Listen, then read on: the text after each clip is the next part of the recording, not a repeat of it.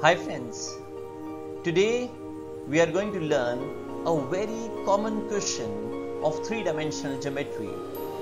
That is, how to find image of a point in a line.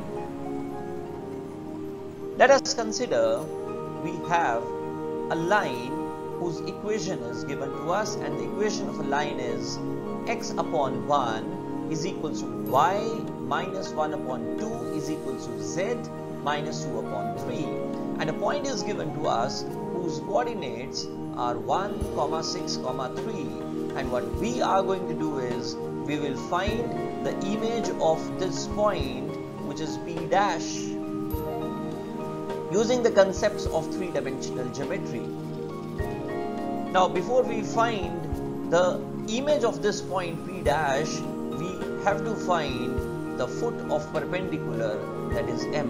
Now pm is perpendicular to a given line. So step number one will be we will find the coordinates of m and then using midpoint formula we can easily find the coordinates of point p dash.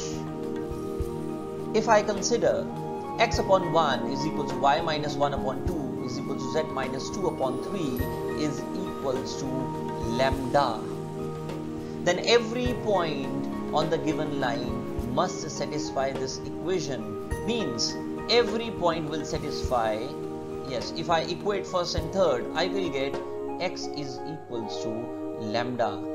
If I equate this equals to lambda I will get y is equals to 2 lambda plus 1 and similarly z will be equals to 3 lambda plus 2 it means. Every point on the given line will satisfy this. Means point m also lies on the given line. Hence m will also be of the form lambda comma 2 lambda plus 1 comma 3 lambda plus 2 now let's find the drs of a line passing through pm the drs of this line will be equal to now how do we find drs we subtract these two. Lambda minus 1 comma 2 lambda plus 1 minus 6 which will be equal to 2 lambda minus 5 and then 3 lambda plus 2 is minus 3 which will be equal to 3 lambda minus 1 so these are the drs of line passing through pm we also have the drs of given line. The drs of given line are 1 comma 2 comma 3 so drs of given line I can write as 1 comma 2 comma 3 we know that the given line is perpendicular to the line passing through PM hence the dot product has to be 0 dot product means the sum of respective products of DRs means lambda minus 1 plus 2 times 2 lambda minus 5 plus 3 times 3 lambda minus 1 this has to be equal to 0 and if I solve this equation I will get 14 lambda minus 14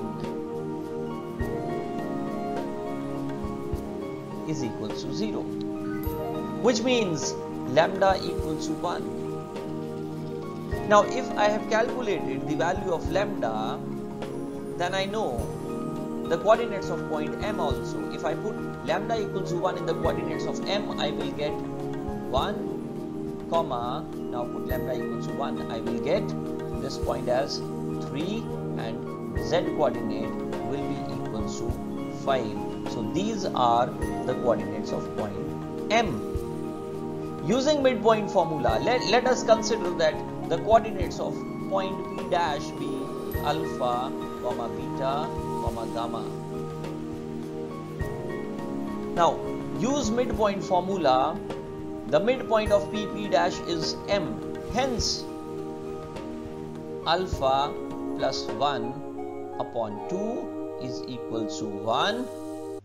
Beta plus 6, this beta plus 6 plus 6 upon 2 has to be equal to 3.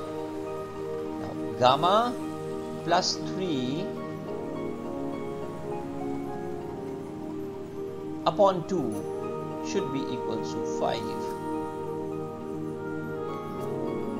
And solving these, I will get alpha is equal to 1, beta is equal to 0 and gamma equals to 7. Hence, the image of point P which is P dash, the coordinates of dash will be 1, comma 0, comma 7. So this is how we find image of a point in a given line. Next topic we will discuss how to find image of a point in a given plane. Till then thank you and have a nice day.